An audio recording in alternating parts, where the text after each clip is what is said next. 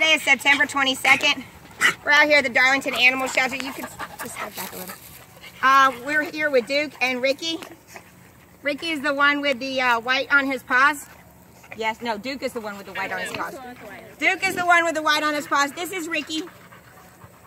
Duke and Ricky have had plenty of time out here um, to extra. Oh, you don't even want to meet. Okay. Come on, buddy. Okay, yeah, I, I got it. I got it. Okay, so what I'm going to have you do is just go ahead of us and we're going to go ahead for a walk, okay? Okay. We're going to take Duke and Ricky for a walk. Part of what we like to do is see how they interact when they're in casual spaces. Okay, are they jumping on each other? Oh my goodness, you're doing such a good job.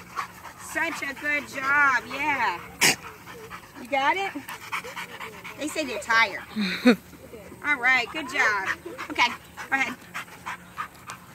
You got Felicia right here, so you ready to do the next part?